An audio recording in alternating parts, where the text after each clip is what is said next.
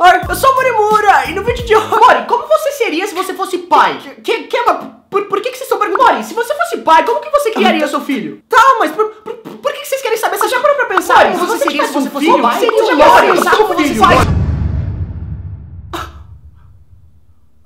Eu perdi o bebê com 18 anos e já tô perguntando como seria se eu fosse pai. Tá, mas se eu tivesse um filho ou uma filha, eu acho que eu seria tipo aqueles pais que vão no mercado fazer compra, colocam elas naqueles banquinhos do carrinho, tá ligado? Faz as compras, beleza, vai embora e esquece a criança lá dentro.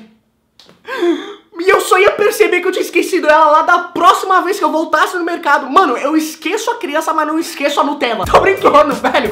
Eu queria deixar claro aqui que tudo que eu falar aqui é de brinks, tá? Eu não faria essas coisas porque eu tenho consciência que eu sou muito retardado pra isso ainda, tá ligado? Tipo, mano, eu tinha um cactus aqui, aquela planta, e a única coisa que você tinha que fazer pra deixar o negócio vivo era regar, jogar água uma única vez no mês. Eu consegui deixar o bagulho morrer. Agora imagina se eu tivesse que trocar a fralda de uma criança que caga cinco vezes por dia. Cara, e eu pelo menos acho que eu não me daria tão bem assim se eu tivesse um filho parecido comigo. Porque, mano do céu, eu fui uma daquelas crianças demoníacas, sabe? Que tem tanta, mas tanta energia que eu ia pra escola, fazia educação física, ficava correndo no intervalo. Voltava pra casa, ficava andando de bicicleta no meu quintal de 2 metros quadrados, dando 800 mil voltas. E chegava duas horas da manhã eu deitava na cama e dormia de olhos abertos. Tá, mas o da hora é que agora que eu fiquei mais velho, é, é totalmente ao contrário. Eu tenho medo de, tipo, sei lá, eu dormir, esquecer de colocar o despertador pra tocar e quando acordar, olhar pro céu, assim, ter, tipo, carros voadores andando pela cidade. Enfim, mas tá voltando nesse assunto de trocar fraldas de bebê, eu não sei se eu seria capaz, mano, porque imagina, você tá lá no shopping, aí do nada ele decide botar tudo pra fora. Aí você tem que ir lá no fraldar e trocar a criança, imagina a nhaca que não deve ser o negócio. Eu olhar para aquilo, eu provavelmente nunca mais vou ter vontade de comer chocolate derretido na minha vida. Eu acho que as crianças implicam um pouco comigo, porque, velho, se eu estiver em um lugar com 800 milhões de cadeiras vazias e chegar uma mãe com uma criancinha pequena, onde que ela vai sentar? Do meu fucking lado. E o problema nem é esse, tá ligado? Até aí de boa. O problema é, ela vai ver a criancinha que eu tô mexendo no meu celular e vai pedir para jogar algum jogo nele. Aí você faz o quê? Fala que não pra criança na frente da mãe.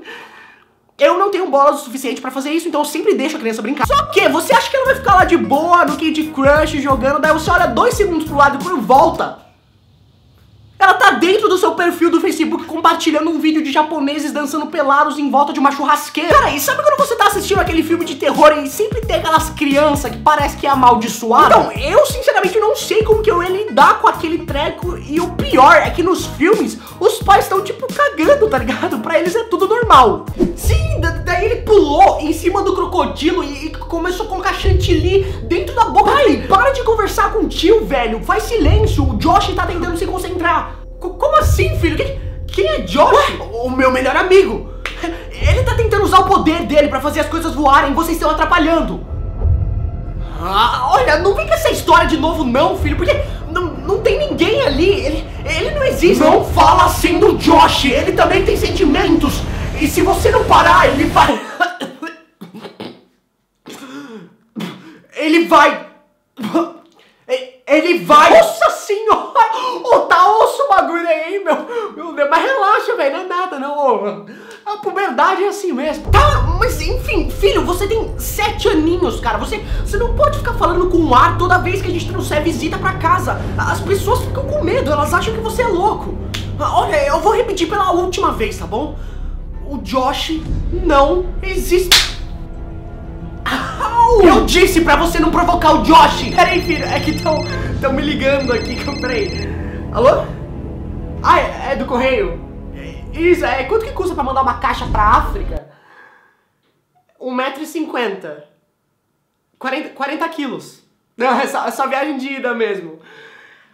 Ah, legal. Será que dá pra, pra gente marcar pra, pra quarta-feira? Ai, meu Deus! O que, o que foi isso? Eu... Eu não acredito! Você quebrou o nosso telefone! Como que a gente vai pedir pizza agora? Tá, mas enfim, é, agora já tá tarde e você tem que falar pro Josh que, que você vai dormir e amanhã vocês brincam mais, tá bom? Tá bom!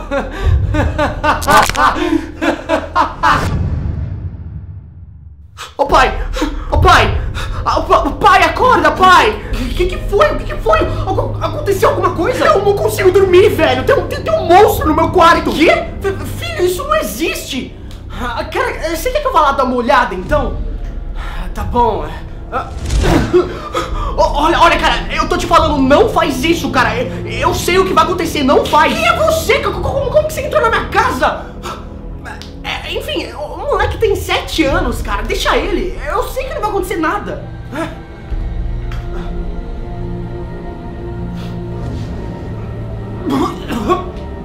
Deus do céu! Filho, isso não é um monstro! Você que cagou no chão! Eu não falei pra você usar o banheiro! Mano, pera, tá, tá, tá, tá mexendo? O, o, negócio tá vivo! Mano, como que eu vou tirar isso daqui?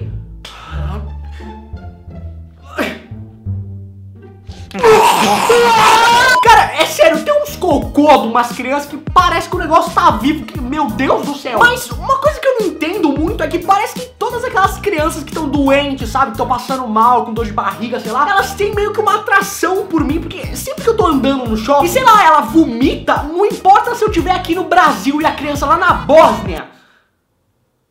Se ela vomitar, o vômito dela vai vir em mim tipo um chafariz. Também, outra coisa, quando eu era criança, eu ria, mano, com qualquer coisa, velho, literalmente. Mas não era tipo aquela risada abafada, tá ligado? Aquela risada de passar mal, com dor de barriga. Então, semana passada eu tava com meu priminho lá e eu fui inventar, velho, de tentar fazer essa criança rir, velho. Eu coloquei uma máscara, a criança não riu. Eu comecei a cantar e dançar, a criança não riu. Eu comecei a fingir que eu tava tropeçando, me ferrei inteiro lá, a criança não riu. Eu tirei a máscara criança começou a chorar. Daí eu fazia o que para entreter ele? Eu começava a inventar umas histórias para ele pensar que é verdade, sabe? Tipo aquela história da cegonha que traz o bebê. Também que existia uma máquina do tempo e que a qualquer momento o seu eu do futuro podia voltar no tempo e conversar com você. Mas, mano, eu era muito mancada, porque eu falava que pra ela conseguir fazer isso, ela tinha que falar um código, tipo uma palavra secreta, que era muito difícil das crianças conseguirem pronunciar, sabe? Tipo capacete. Ninguém conseguia, velho.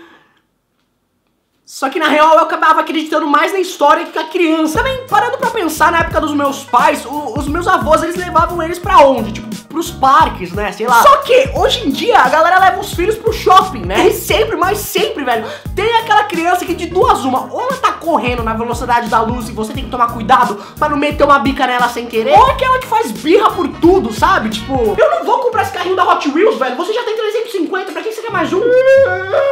Você não vai comer um McLanche feliz só pra pegar o brinquedinho. Óbvio que não, eu não vou no banheiro pra te limpar. Você já tem idade pra fazer isso sozinho. Jorge! Você já tem 27 anos! Cara, mas é sério, eu não sei como são os seus pais, mas os meus, quando eu ia com eles, velho, o meu pai é tipo aquele cara que não gosta de jeito nenhum de mosquito, sabe? Juro por tudo, velho. Ele tem aqui em casa uma raquete, aquelas raquetes que se você encostar com ela no mosquito, ele eletrocuta o bagulho. Então sempre que a gente tá andando em público e apareceu uma mosca, meu Deus do céu, sai de perto, meu pai faz de tudo só pra matar o negócio. Ele sai correndo, começa a gritar, sobe em cima das cadeiras. Ele quebra a perna, mas mata o mosquito. Cara, a única coisa que eu sei é que se um dia, velho, eu for pai, eu vou vestir a minha criança de um jeito adequado, sabe? Porque os meus, eles me faziam usar, tipo, sei lá, o negócio da papete do Seninha, sabe? Que era até da hora, mas meu Deus do céu, que bagulho feio. Isso nem é a pior parte, mano. A pior é que quando eu ia no cabeleireiro, eu não escolhia meu corte de cabelo, minha mãe escolhia. E era sempre, tipo, sei lá, alguma coisa que parecia, ficava parecendo um capacete. Chamou? Quê? Quem que é você? Ué, eu sou você do futuro. Você, você acabou de usar a palavra-chave, velho. Capacete, lembra? Como assim? Não, então é sério isso? É, é, é, de verdade a história que eu contava pro meu primo? Auê! Au! Mano, o que, que você tá fazendo? Pera, como que você sabia que eu ia rotar? Meu filho, eu, eu sou do futuro, eu, eu já sei tudo o que vai acontecer. Eu, pergunta? Cara, relaxa, velho. Você, não vai ser BV pra sempre. Não, não, não era isso que eu ia perguntar, era... Eu, eu, só, eu só queria saber se, se eu vou ficar sozinho pelo resto da vida. Óbvio que não! Você adotou oito gatos. Só que daí eles não gostavam de você, daí eles fugiram. Ah, pera, o que... O que, o, o que aconteceu com a sua mão? Ah, na, nada, é... Olha, olha aqui, eu só sei que você me chamou aqui agora e eu quero saber o que, que você precisa. Você, você, quer ajuda, alguma coisa? Não, velho, você não entendeu. Eu, eu falei aquela palavra sem querer. Ai, meu Deus, não, não. Então, então quer dizer que a história da cegonha também é de verdade? Ah, olha, oh, são gêmeos. Não, não, pera. Aquilo é um cocô? Meu Deus, como que isso saiu dessa criança?